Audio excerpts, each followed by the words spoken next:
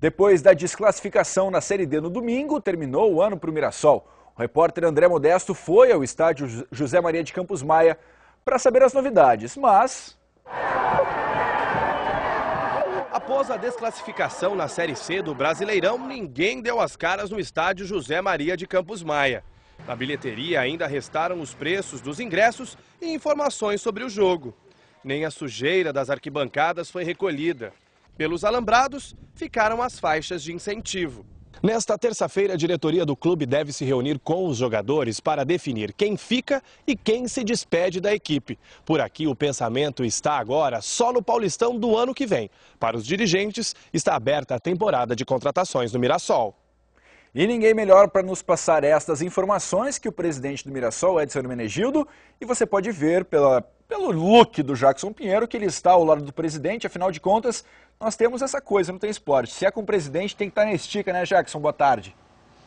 É verdade, Matheus. Pessoal que está em casa não se preocupa não com o assunto agora não é economia, é futebol, mas como de costume, como você já disse aqui no Tem Esporte, quando a gente recebe o presidente de um clube, a gente se veste assim, bem elegante, porque esse pessoal é elegante demais. Dá uma olhada no estilo do presidente do Mirassol, doutor Edson Hermenegildo, paletó com botões dourados, gravata amarela em homenagem ao Mirassol.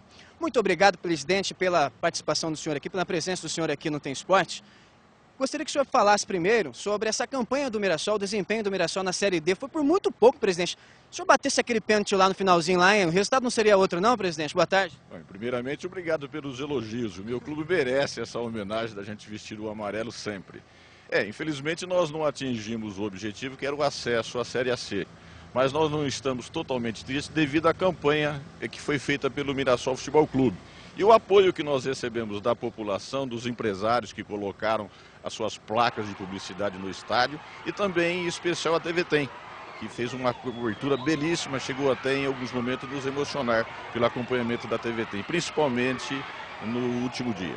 Legal, presidente. A gente que agradece. A gente está sempre torcendo para o Mirassol justamente em relação a isso, a gente quer saber agora, oh, a senhora passando aqui, a gente quer saber agora, presidente, como é que fica o Mirassol para o Paulistão. Esses jogadores que participaram dessa maravilhosa campanha na Série D, eles serão, terão contrato renovados, o Ivan Baitello fica, a comissão técnica fica? A intenção é manter novamente essa comissão técnica que, tem, que tem, tem, feito um excelente trabalho no Mirassol. E vários dos jogadores desse grupo já têm contrato para o Paulistão. Evidentemente que nós vamos contratar outros atletas. A equipe será recomposta para o Paulistão, mas vários deles vão permanecer. O Ivan Baitello continua. Está, já está acordado com o Ivan Baitello e toda a comissão técnica para que dê continuidade no trabalho. O Mirassol disputou a Série D do Brasileiro porque foi muito bem no Paulistão desse ano. No ano que vem a expectativa é melhor ainda. O investimento, nesse ano foi de 400 mil reais mensais, o investimento vai aumentar ou vai ser na base realmente de pé no chão ali, fazendo um trabalho curto no dinheiro, mas com bom desempenho em campo? É, já é regra no Mirassol Futebol Clube trabalhar justamente com o orçamento que tem. Nós não cometemos loucura, é trabalho pé no chão. E, não, e será da mesma maneira no ano de 2012. E também o foi agora na Série D. Nós não contratamos mais jogadores porque nós não tínhamos, um, não tínhamos recursos para tanto.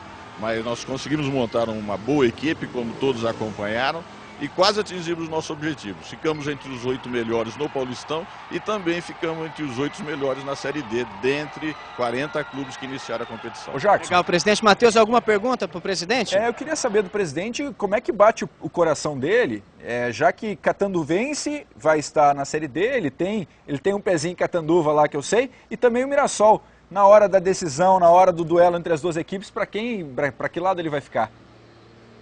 É legal, ele já disse aqui em off pra gente que vai ter que se desligar né, do conselho do Catanduvense. O Matheus perguntando justamente agora na Série A, no Paulistão. O senhor ficaria ali em dúvida, Mirassol, Catanduvense, o senhor faz parte do conselho de lá. Está se desligando, presidente, mas vai continuar torcendo. É, perfeitamente. Né? Nós somos presidente do Conselho Deliberativo do Grêmio Catanduvense, também com muita honra, porque trabalhamos vários anos naquela cidade e ajudamos um pouquinho lá o Grêmio Catanduvense. Agora estamos na mesma divisão, na Série A1 do Paulista, e a, a legislação não permite que a gente participe de duas diretorias. Legal, mas é torcer com certeza para o sucesso das duas equipes, assim como tem esporte, não é mesmo, Matheus? E o presidente me falou que se batesse o pênalti lá na decisão, ele guardaria, viu? Ah, eu não tenho dúvida nenhuma, e parabéns para o presidente que conseguiu duas campanhas fantásticas esse ano com o Catanduvense e também com o Mirassol. Obrigado, Jackson, um grande abraço.